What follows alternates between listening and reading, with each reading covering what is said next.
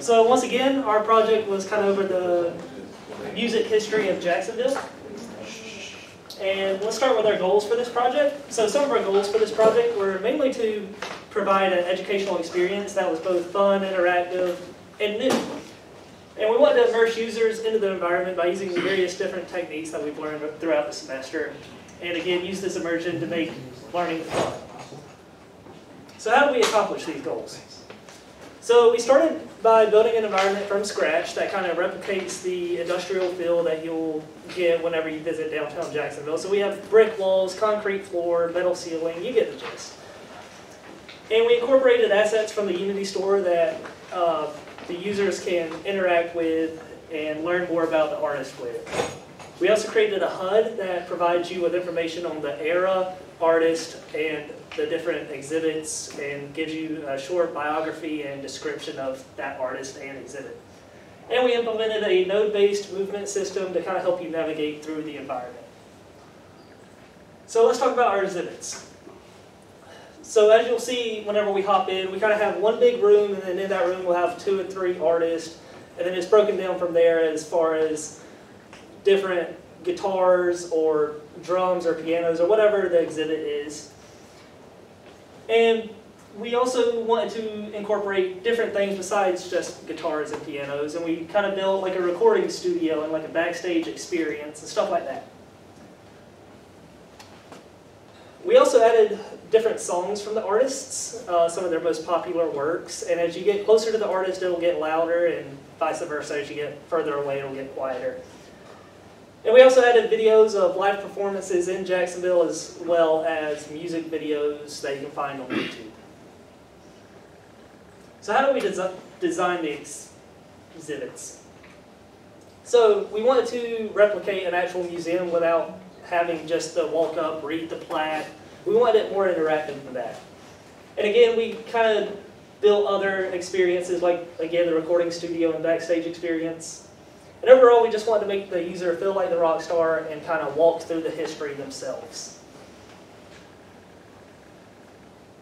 Awesome. So as Kyle alluded to, we have a primarily node-based uh, system that on initialization, all the grunt work in terms of computation is done uh, to build out the graph of the nodes that are actually out there, the edges uh, as well.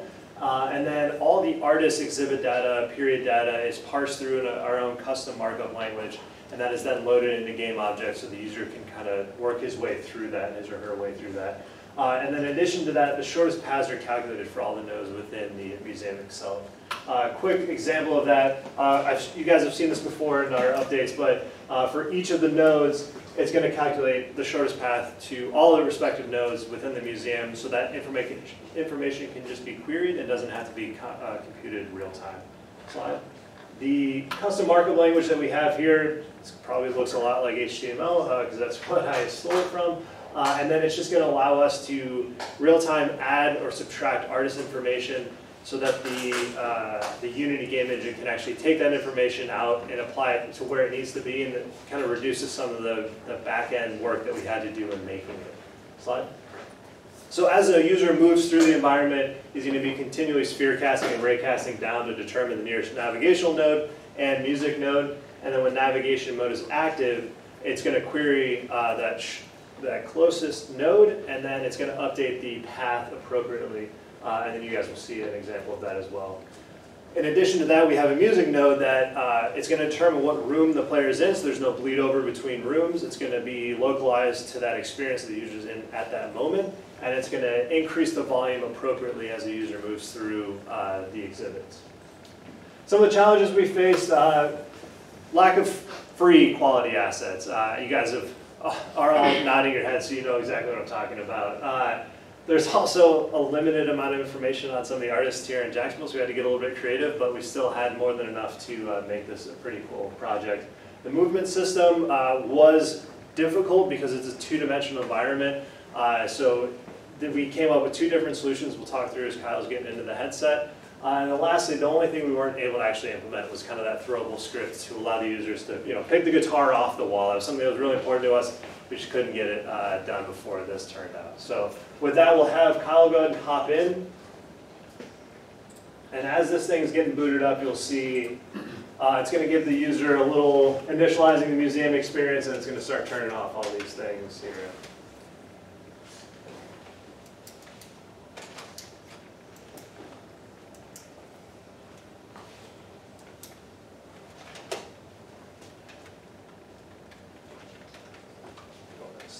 There. All right. So as we discussed, there's two primary means of locomotion that we have available to us. Uh, so if you want to uh, step out to the center right here.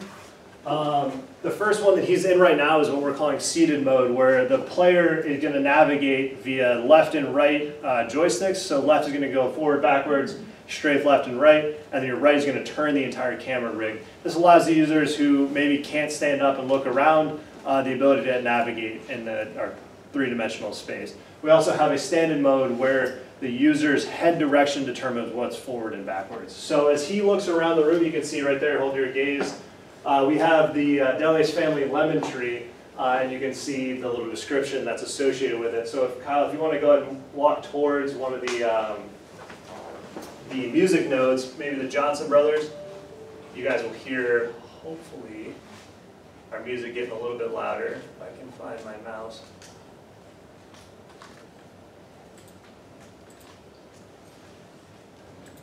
Um,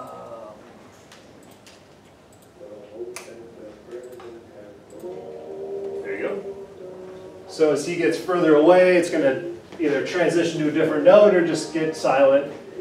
And then as he's looking at each exhibit, you see the name of the artist as well as a brief description of what that exhibit is. So Kyle, if you want to go ahead and toggle the left menu, we can show everyone the HUD.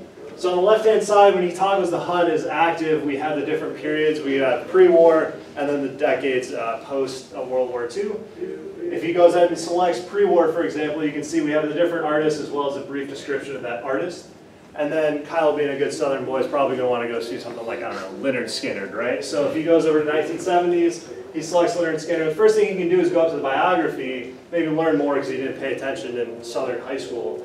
Um, if he backs out, he can select any one of these exhibits and begin navigating to. So Backstage Pass is a great one. So as he looks down, you can see the path is automatically illuminated. We have those helpful directional arrows as well. And as if he looks back to where he came from, you'll see that the breadcrumbs are picked up as we go. We're not leaving anything in the scene. So as we enter the Mae Axton room, and Pat Boone, as he gets closer to Mae Axton, you'll hear the king, and he, she wrote the uh, Heartbreak Hotel for Elvis Presley.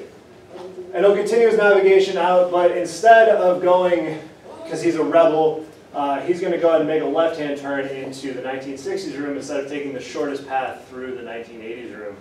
And you'll see here that the path is going to automatically update appropriately based on uh, his location. See, there he goes. So now he's in the Ray Charles and uh, Classics 4. And he's going to work his way through the Allman Brothers exhibit.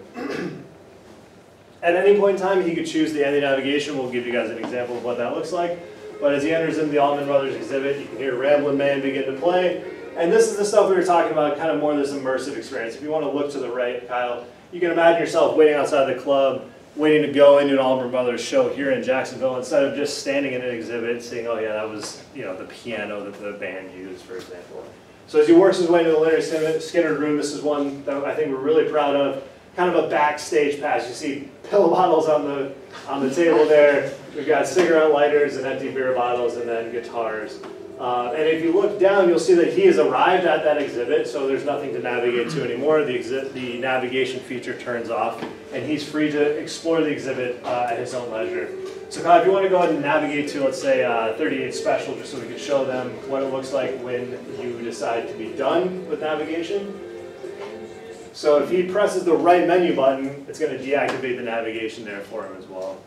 So if you want to do a speed run to get us through, since we are coming up on time here, uh, towards the end of the exhibit, we have our 80s and 90s with 38 Special and Mase of Puff Daddy lore. Uh, and then as he rounds the corner there, we're going to work our way into the 90s room, which is filled with uh, Jacksonville's finest, uh, Tim McGraw, and then entering into the 2000s room as well.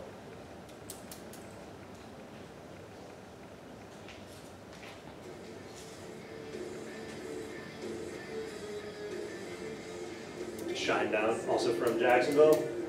And then as he's working his way into the back, one thing that was important to us is make sure we have our work cited. So it's not pretty, but in the last room, you're gonna see that every exhibit that we have uh, has been cited appropriately uh, for those of you who may be interested in something like that. And then we finish strong with a Yellowcard, Ocean Avenue. Uh, So that concludes our brief. Are there any questions? So first,